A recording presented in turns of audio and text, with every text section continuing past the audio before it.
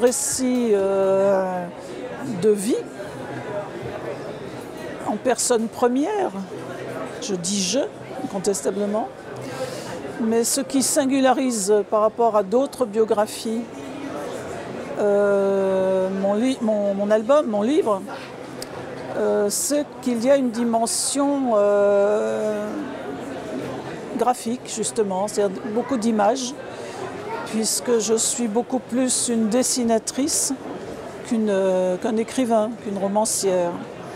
Et puis c'est l'histoire, c'est mon histoire, à la fois une histoire personnelle, une histoire familiale, pas banale je crois, qui m'a conduit à devenir ce que je suis, c'est-à-dire euh, une sorte d'artiste.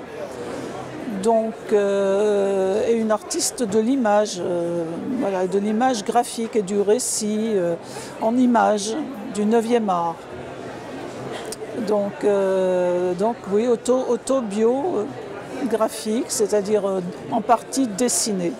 Il y a une dimension d'abord, je crois, artistique, a une, dimension sociale, il y a une dimension politique. Euh, parce qu'il s'avère que je n'ai pas fait exprès, ça s'est un peu trouvé comme ça presque par hasard, même si j'avais euh, de la politique déjà dans la tête, puisque je suis une enfant un peu de 68 quand même. Mais euh, donc il s'avère que je suis une des pionnières du dessin de presse politique. Il y avait très très peu de femmes, voire pas du tout quand j'ai commencé à dessiner pour les journaux d'opinion. Et je ne pense pas qu'il y en ait énormément aujourd'hui. D'autant plus que beaucoup de titres de cette époque ont disparu. Euh, donc euh, voilà, dimension politique. Et puis oui, une dimension psychanalytique parce que vous savez, la psychanalyse dans les années 70 occupait beaucoup de terrain. Ça, allait peut-être d'ailleurs de pair avec euh, voilà, une espèce d'évolution, de révolution euh, sociale et politique. Donc on parlait beaucoup de psychanalyse, on, parlait beaucoup de, Sigmund Freud, on, parlait, voilà, on était souvent euh, curieux, beaucoup curieux, enfin ma génération, mes proches mes amis étaient, curieux de, cette dimension-là de l'existence et du savoir aussi, savoir psychanalytique. Je suis passée par l'analyse parce que bon, je fais un métier euh, qui est assez exposé. Euh, étant une des pionnières, j'ai un peu essuyé les plâtres. Donc, euh, bon, j'en ai conçu évidemment quelques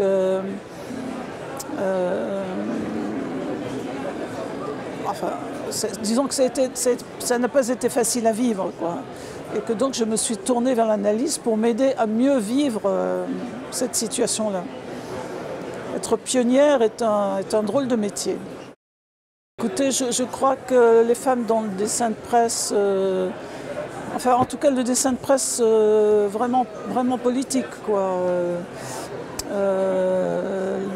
la place, la place est extrêmement. Euh, les familles sont, sont très peu représentées.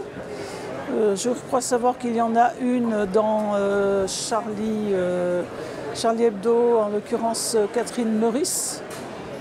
Est-ce qu'elle chronique vraiment la vie politique J'en suis pas convaincue. Les dernières choses que j'ai vues d'elle étaient plutôt un peu décalées. C'était plutôt l'aspect, on va dire, les, questions de société, les questions, euh, euh, voilà, euh, enfin pas, directement politiques. bon, mais elle est dans un journal qui, parle de politique quand même. Je crois qu'il y en a une autre, également dans Charlie Hebdo, enfin les deux ayant d'ailleurs échappé au massacre. L'autre signe ses dessins Coco. Voilà, mais si vous voulez, c'est plus. Euh, j'ai l'impression qu'elles abordent plus les problèmes de société que véritablement les problèmes, euh, les problèmes politiques.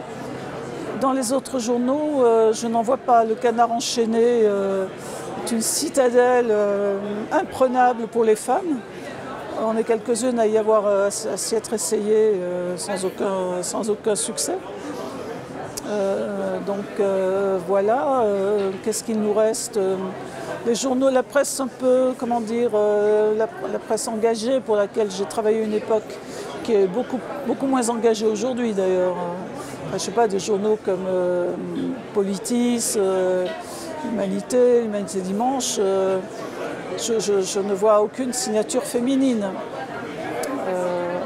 le seul prénom féminin qui émerge, c'est Adèle, un, dessinateur signe du, nom d'Adèle, qui est un diminutif pour Abdel Hakim, je ne sais quoi.